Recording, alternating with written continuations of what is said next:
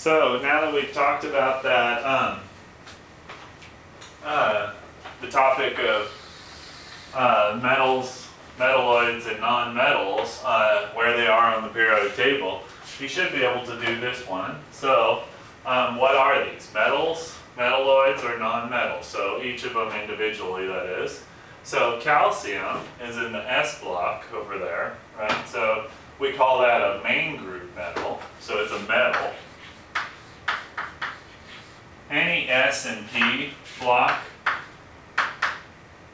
S or P, is called a main group element.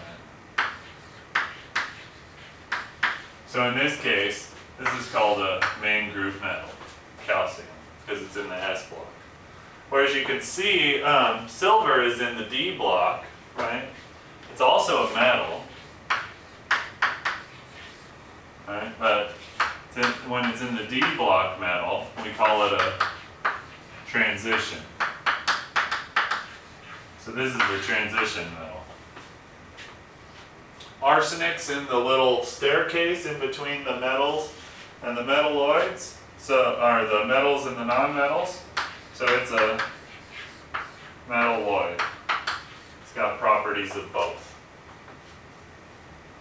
And uh, sulfur, of course, is on the to the right of the staircase. So it's a non-metal. Okay, and it's also main group. Okay. All the non-metals are actually main group metal, or all the non-metals are actually main group elements.